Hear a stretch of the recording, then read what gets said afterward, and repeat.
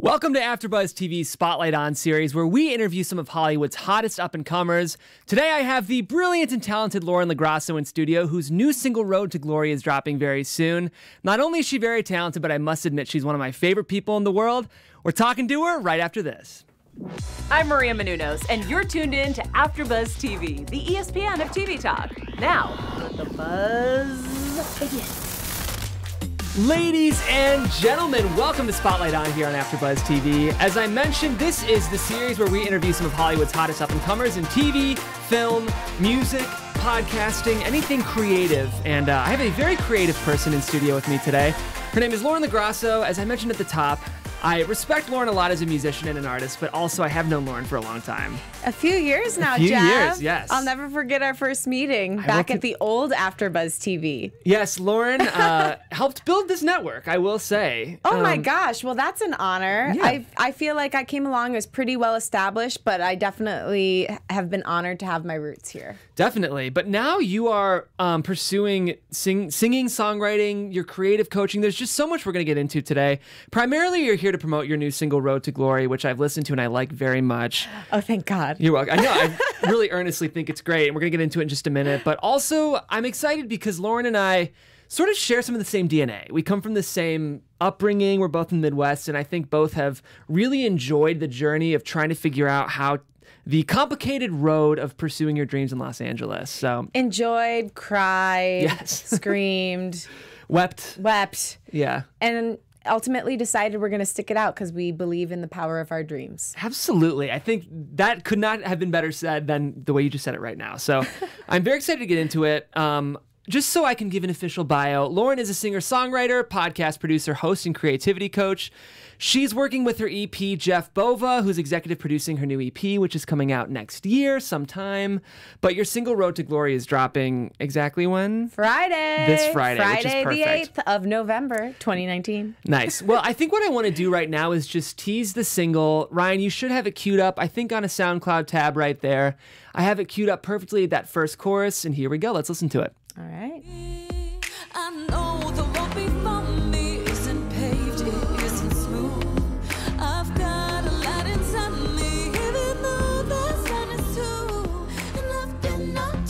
Off my feet, but I'm that, like- crawling on my knees. I don't want to talk over it, but You can talk over it. On the road to glory, once I'm On the Okay. road to glory.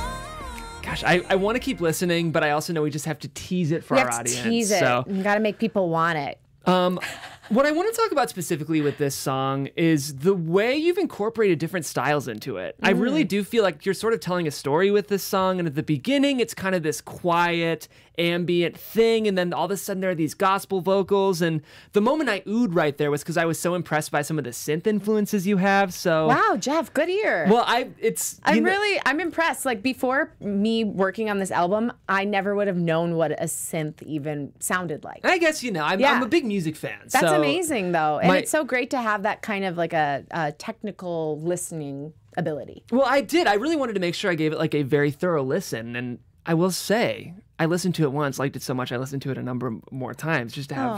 Um, but I want to talk about that choice to not.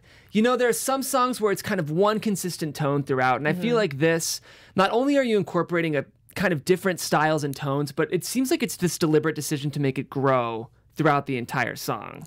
Yeah, well, I definitely wanted it to be anthemic, and I think that, uh, like any good journey, it's not going to be interesting if it starts out huge and then just stays huge, or starts out small and doesn't go anywhere. So I wanted it to show the journey of the song and also my experience, because this song "Road to Glory" is all about my journey in Hollywood and pursuing a creative life, and the grit and the pain and the tears, but how it's all worth it if that's really what you have to do. And that all of those things, all the suffering you go through all, actually makes you stronger and that the road to glory never really ends. Hmm. You know? Yeah, it's interesting because the song kind of has this feeling of it could go on forever. I think maybe mm-hmm. because of the way it builds and the way you're incorporating different styles, but it feels both like it's totally finite, but also like it could continue. Yeah. And I feel like that's what the journey of being a creative person is like. Hmm. You know, just when you think you've reached the pinnacle, there's a new level that you have to go to. Mm. Or when you think you're, sometimes when you think you're at the pinnacle, you actually have to slide down a little bit before you can go back up. Hmm. So I, I hope that that is incorporated in there. And I think you're saying that it is. I would say certainly. um, I was looking at some of your influences and artists you really respect, and I saw like Janis Joplin, and um, I think did I see um, Joni Mitchell on there as well? Love Joni Mitchell. Yeah, I, I love that kind of like badass folksy singer songwriter. But what's cool is I feel like you're incorporating those influences, but it does have a distinctly modern sound. Mm-hmm.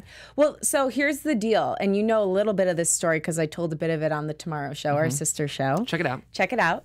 But the song was originally like a straight rock song. And then I realized, so it was like ready to go out a year ago, 2018, fall 2018. Like I was going to release my EP. And we realized that me and my producer and this other woman I was working with, Carrie Cole, realized that it sounded a bit dated. Like it sounded like an 80s rocker song. Mm-hmm. And honestly, it just didn't feel like me. Like it never felt like me to be like solely in the rock area. Like what I always associated with were like soul singers, folk singers, singer songwriters, pop. Like that's what felt more authentic. So we went back to the drawing board and kind of figured out the different influences that we wanted to incorporate and put that song through that filter instead and came out with this amazing mix that's way more modern but still incorporates it's like pop rock soul I mean, I wouldn't say I hear a ton of folk in it, but like pop rock and soul solidly. I feel like lyrically it's folksy, Yeah. you know, um, which I really appreciate. I think the other thing I really like about the mix is I feel like a lot of times, if you're a pretty close listener, you can sort of anticipate drops or sort of predict when there's going to be maybe an up tempo percussive change or something like that. But I feel like on this listen, I'm surprised by when these drops or these changes in the timbre of the song are like executed. Yeah. Was that a goal too?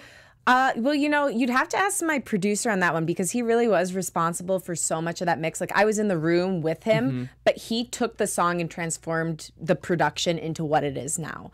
But I would think so. I mean, like you never want the listener to be able to guess what comes next. When I'm listening to a song and I can guess the next note or I can guess the next lyric, it's always kind of disappointing. Like Yeah. I like it when somebody surprises me.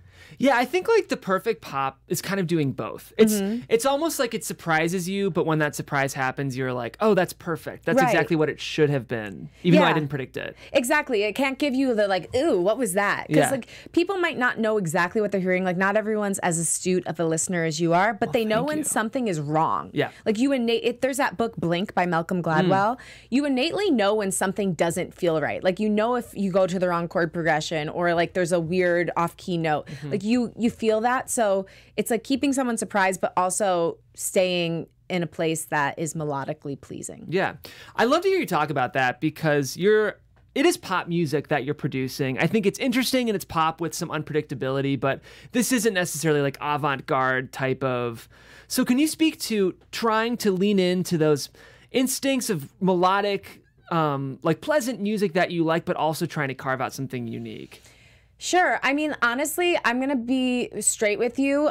I just sing whatever comes to me. Like, mm. I, I'm not sitting down being like, oh, I wonder like how I can surprise people today. Like, I sing what feels good. Mm-hmm. And because I didn't start writing music till later in life, and I know it's not late in real life, but like for a musician to not know that they're a songwriter until this age is pretty late. I mm-hmm. didn't write a song till I was 23. So because of that, I completely wrote on feeling because I didn't know any rules at that point. And then after that, I educated myself and started taking songwriting classes, started getting, you know, more into my guitar skills. But still to this day, I'm more writing what feels good. And then I'll go back and look and see, okay, like, could this melody be a little bit more pleasing? Is it like in the cut? Is it um, leading into the pre chorus the right way? You know, but the first thing I do is just sing whatever comes out. Do you lyrics first, melody second, melody first, lyrics second? Um, it depends on the song. For this song, I actually wrote a bulk of it in an airplane, believe it or not. Nice. So I kept going to the bathroom so that my seatmate wouldn't think I was crazy. and I would like sing into my phone and then go back out. And I, I think it was at the Cincinnati airport. It was back when I used to do auto shows to make money. Oh yeah. And I remember like walking through the airport and singing into my phone. But then I just left it alone for like, I don't know, months. And then I came back. My friend Jordan helped me figure out the initial chords for the song, left it alone again. Then I finished the rest of it in a car in Detroit, like driving in downtown Detroit.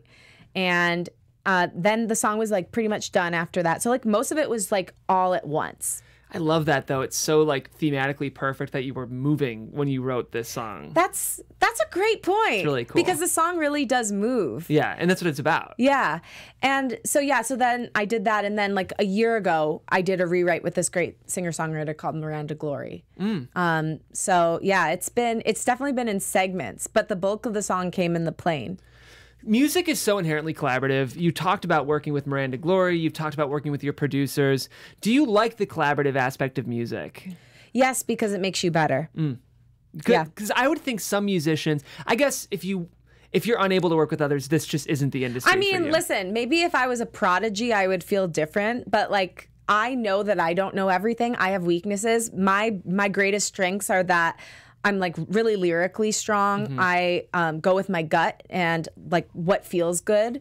And I've got an interesting take on melody, but I am not the most classically trained musician. So there's going to be some weird things I do. Sometimes they really work, which is actually why my producer said he wanted to work with me. He said because I um, I make choices that other musicians don't make. Like I'm not tied to a traditional song structure. That's why he was interested in working with me. But she's like, oh, that's nice to hear that you don't have to be perfect or like follow the rules in order to do this. Um, but yeah, I think it's good to work with people who have skill sets that you don't have. Yeah, absolutely. Well, that's really cool. And um, Road to Glory drops this Friday, guys. I, if you can't tell, I really like this song. I'm not just saying that. It feels kind of cinematic to me. I'm like, why isn't this in like a movie? Well, we got to get it in a movie. That's like that's next the, goal. Yeah, I Yeah. want to get it in a movie. I want to get it on sports, like you know, to be an anthem for sports teams. Oh, I, I want to have it in a commercial. That's like Yeah. you know, spoiler alert to those at home.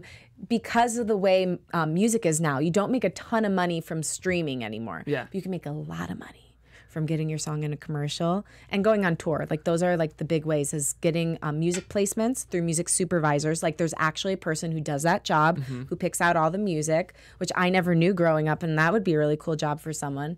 And then also going on tour is a great way to make money. Gosh, I now that you're pitching commercials, I'm like Gatorade. There's like Nike. Let's get them on the line, Make Jeff. it happen. I love it.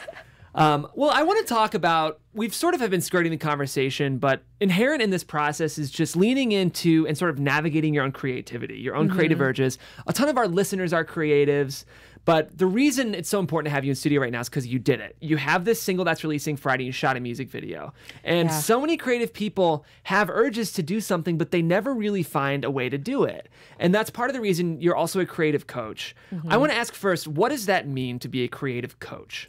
basically something that i've realized is one of my special skills is i can listen to like a whole litany of things that a person does and then distill them down into a sentence and help them take that from an idea to a reality so that can mean a bevy of different things but that's kind of the overarching purpose of it and i think that's your question right That's definitely my question. You nailed it.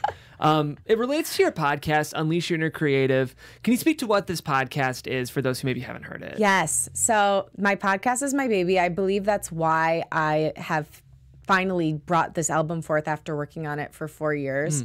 Um, but it's a show that is meant to help the listener make creativity the filter for their life, claim the word creative, redefine their relationship with fear, and lessen fear's grip on their choices. And through those things, hopefully step closer into being the real person you are, into the full essence of your humanity. So well said. I'm like, damn. uh, claim your creative is a really compelling way to talk about our relationship with our own creativity. Can you mm-hmm. like elaborate on what you mean? Sure. So I believe everyone is creative, even people who don't think that they are. Like, for instance, my dental hygienist, she mm-hmm. cleaned my teeth the other day, like, did like a brush before she actually like went in with the pick and like started doing like heavy digging in there. Mm-hmm. I never had had anyone do it before like that. And I thought that was such a creative way to approach it because that way, when she went in with the scary things, like, you know, those picks that look like they're digging for gold, it didn't hurt as bad because she'd already done the gentle cleansing. So it's like, what is the most creative way you can approach everything in life? And, um, like I talk about finding creativity in the mundane. So like making creativity the filter for your life because if you can find it in the mundane, like let's say like picking up dog poop or cleaning your kitchen, it's going to be easier to access in those big moments. And I hmm. think it's important to claim the word creative because as human beings, it's an innate part of who we are. I had this realization recently that creativity is what our very world is made of. There's mm. this wonderful quote by Dr. Wayne Dyer that says, everything that exists is was once imagined. That means even our entire universe. That means that the stuff that we're made of is creative essence hmm. and that it is our birthright. And so by claiming that, we're claiming our humanity and our ability to see what isn't there yet. I feel like there is an aversion to creativity in our culture. Mm. Do you agree with that? Explain.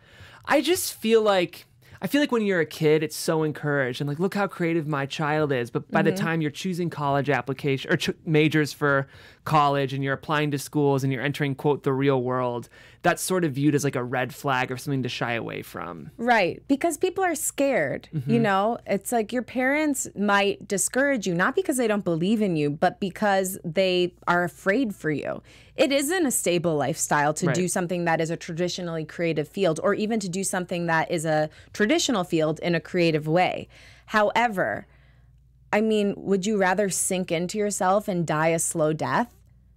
I wouldn't. Right. I would rather be sad sometimes pursuing the life that I want than sad all the time pursuing a life that makes me miserable. Yeah. It's interesting though because I think so many people they're unable to another thing you mentioned was just facing the fear of knowing that you have this germ inside of you that has to grow. You know, we're both in the Midwest. I mm-hmm. think it's an unconventional career choice for us to be pursuing what we are, and we're both making it happen, which is great. But it does lead to heartbreak and anguish and pain. Mm-hmm. How do you how do you encourage people who are afraid to face that, but also know that this is kind of the only choice that they have? Well, there's a few different ways. I've definitely been in that position before. You know, it's like we've all been crippled by fear at some mm-hmm. point. But you, one good way is to ask yourself, what's the worst thing that can happen? And actually just like keep going. Like, it, okay, if that happens, then what happens? And then usually what you find, like, even if you fail miserably, you have to think, would that failure be worse than never trying? Hmm. Like, what could I forgive myself for more? Could I forgive myself for failing, but going at it full force? Or could I forgive myself for staying in my house and dying with my music still in me? Hmm. Wow. I, I couldn't forgive myself for that because that means I never took a chance on myself. I never believed in myself. But as long as I tried, I can be okay with that if I fail. Yeah. So um, I just had a question highlighted and now. Oh, perfect. So do you feel like you sort of entered creative coaching as a way to coach yourself? Because I feel like. Yeah. Can you speak to that? So I like by the way, like creative coaching is something that I'm still like kind of dipping the toes in the water of. I'm like not like fully delved into it, but like the reason I started my podcast was because I needed some serious help. Like I had been sitting on this music for three and a half years and it was just dragging. Mm-hmm. And I realized I mean, I've definitely struggled with mental health over my lifetime. And I realized all the times I've been most depressed in my life was because I was repressing my creativity. Mm. And that was like when this phrase came to my mind Re- repressed creativity is the cause of so much of the world's suffering. Because we all have these lives inside of us that we're crushing down. And you can only live like that for so long before you either decide to make a different choice or something really, really bad happens. Hmm. And so I wanted to help other people as I helped myself stop pushing those lives down. Yeah. Because I've known what I wanted since I was three, you know? But you get wrapped up and you get opportunities, quote unquote, and sometimes they are, but sometimes they take you away from your ultimate purpose or your ultimate goal or why you came here. And so I did the show because I was letting fear rule my life. I wasn't making creativity the filter for my life. And I wasn't stepping into the full essence of who I was. And that was, you know, something I shared with the audience from the beginning is as I'm giving you these tools, as I'm asking people these questions, I'm also asking them for myself hmm. because I need the help. And guess what? I'm still not fully there. It's going to be a constant journey. I hope I continue to grow for the rest of my life.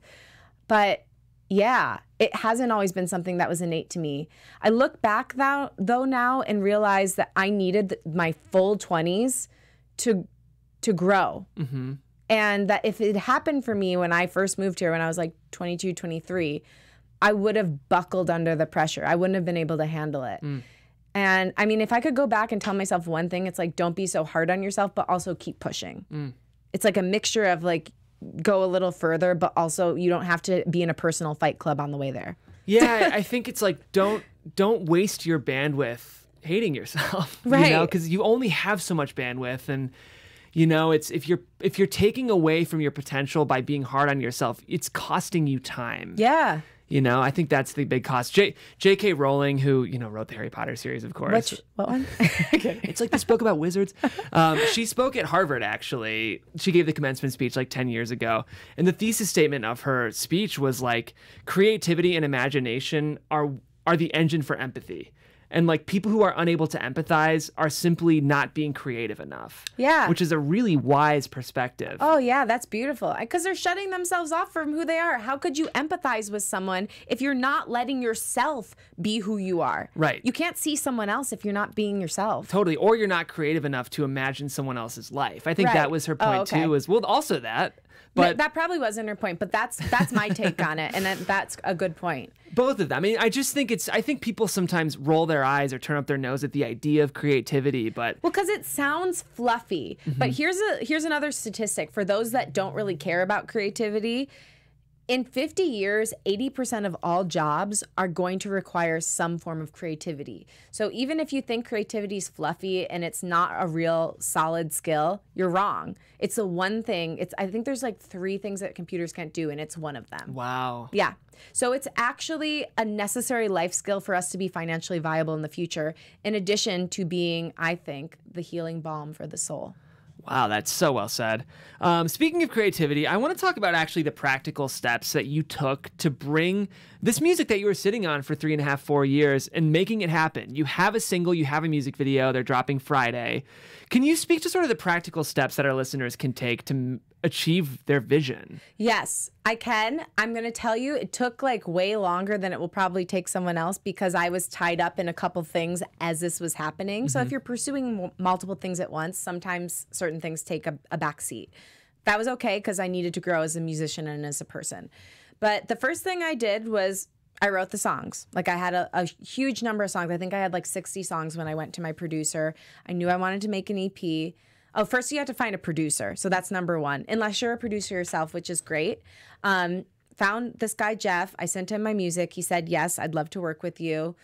We went in the studio. We laid down scratch tracks.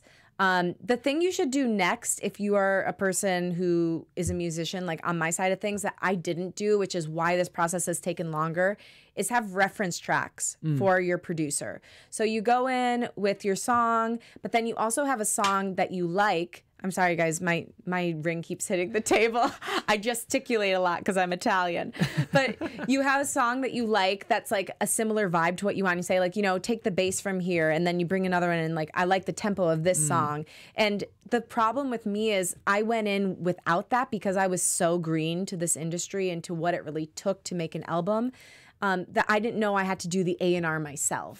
And so Jeff, my producer, was kind of like guessing for me based on what I was giving to him. So I highly recommend going in with reference tracks for every single song you make.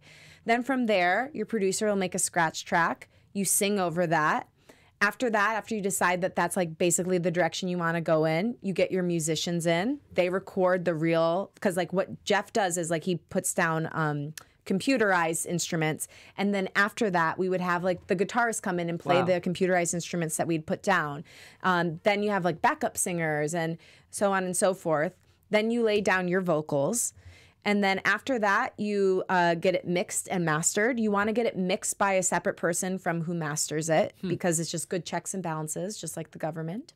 And then after that, you find a place to distribute it. So I use TuneCore. It's a really simple place. You can also use something like uh, CD Baby.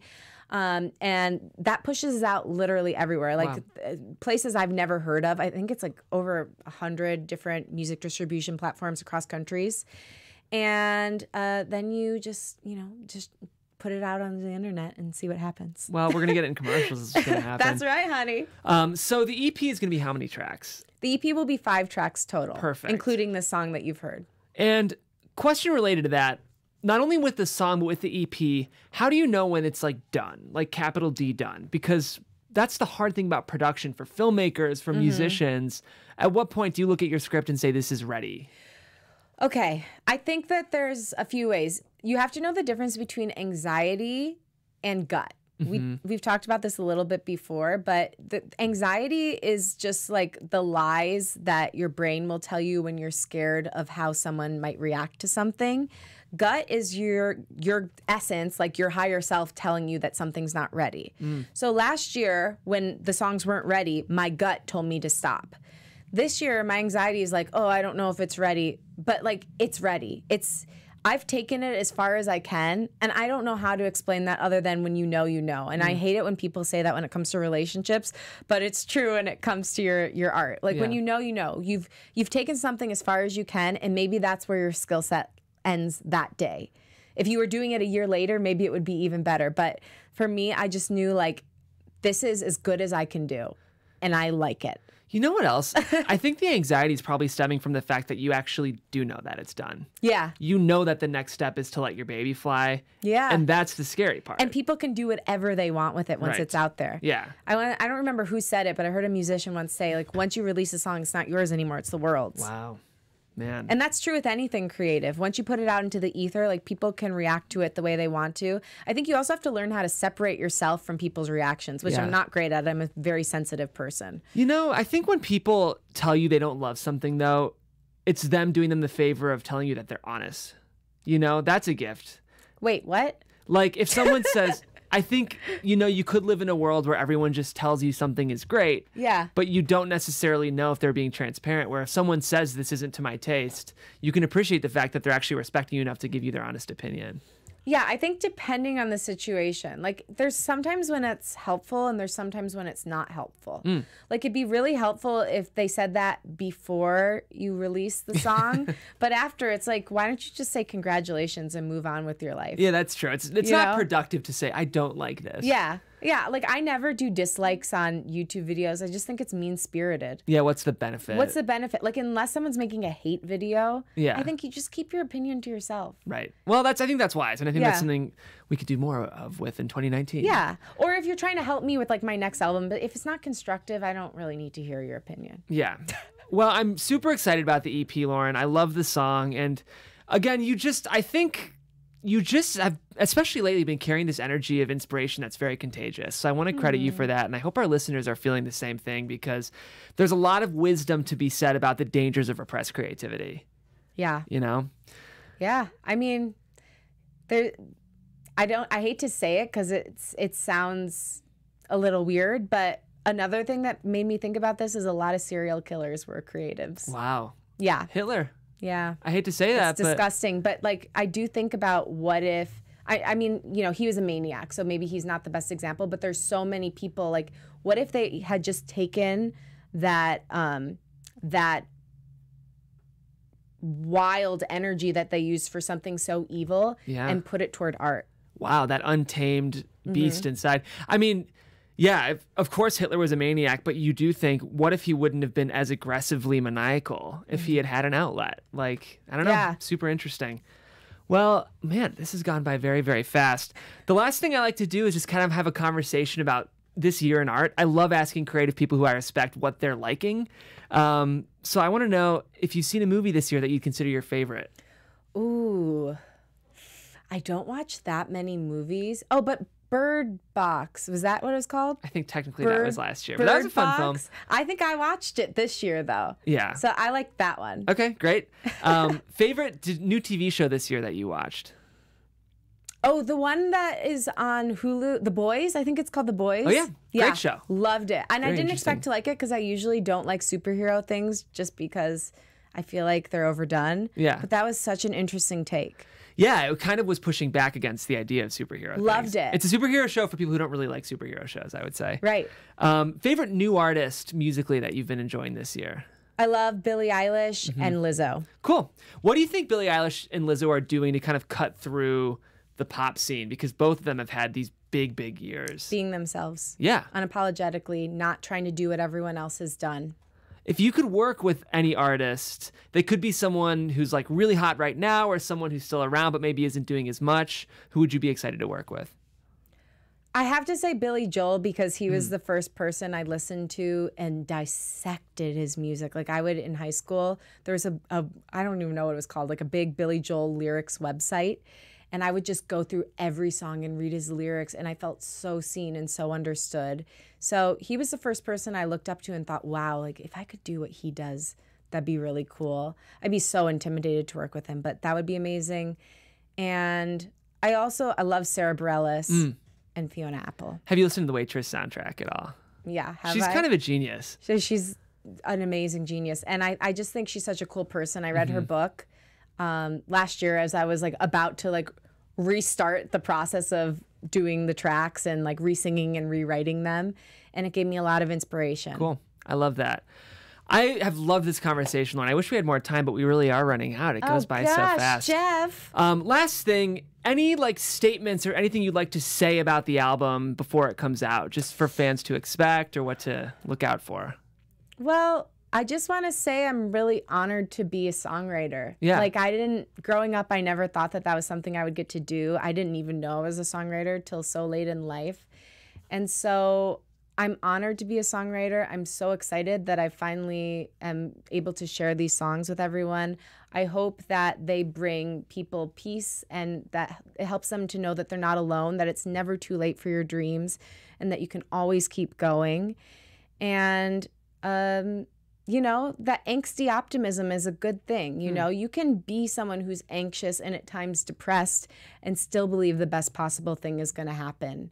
And believe in yourself always. And I hope that this music helps you to believe in yourself, that it helps you to feel less alone, that it is a healing balm for your soul. And I just appreciate you listening. Wow, I think there's nothing better to go out on than that. Ladies and gentlemen, Lauren LoGrasso. Lauren, thank you so much for being here today. Jeff, thank you. You got it. So, just so you guys know, the single's called Road to Glory. It comes out this Friday, both the track and the music video, right? No, the music video is coming out a little later. It's going to be coming out in December, so Oh, we're great. teasing you. And then I'm also I'm uh, doing a public speaking event. I'm talking about creativity Cool. on the 9th, this coming Saturday at the Pretty Thing Tour. And then I'm doing a live show on Monday, November 11th. It would have been my grandparents' 69th wedding anniversary at Bar Lubitsch Oh, at nice. 8:30 p.m. So I'd love to see anyone who's local there. And the uh, creative coach, you're going to be doing this uh, the tour one more time. Yeah, The, yes, so I'm going to be doing a speaking engagement. I'm a uh, they call it like a keynote speaker Cool. at the Pretty Thing tour, Which And is the- in LA. That was this the is in thing. LA. Yeah, Perfect. Okay. Yeah, it's in Marina Del Rey. Great. Just wanted to clarify that. And they can follow you at Lauren LoGrasso on all At Lauren platforms, LoGrasso. right? You can find all the information there. Great. Well, Lauren, we will be glued to your social media to see the rest of these single drops and then eventually the EP as well. Um, I can say, I'm not just saying this, I'm a big fan of the song and I can't wait to see the rest of the album. If you guys want to keep up with me, you can do that at Jeffrey C. Graham on Twitter, Jeffrey Crane Graham on Instagram. If you're a fan of The Bachelor, I do daily Bachelor updates. Oh actually. my gosh, I gotta check those out. Yeah, it's been um, a surprisingly like um, well engaged little segment I've been doing. So check that out on our AfterBuzz TV reality channel. Lauren, thank you one more time for being here. Jeff, I adore you. Thank you for having me. You got it. And we'll see you guys next time here on Spotlight On, only on AfterBuzz TV. Our founder, Keven Undergaro, and me, Maria Menounos, would like to thank you for tuning in to AfterBuzz TV. Remember, we're not just the first, we're the biggest in the world, and we're the only destination for all your favorite TV shows. Whatever you crave, we've got it. So go to AfterBuzzTV.com and check out our lineup. Buzz you later. The views expressed herein are those of the hosts only and do not necessarily reflect the views of AfterBuzz TV or its owners or principals.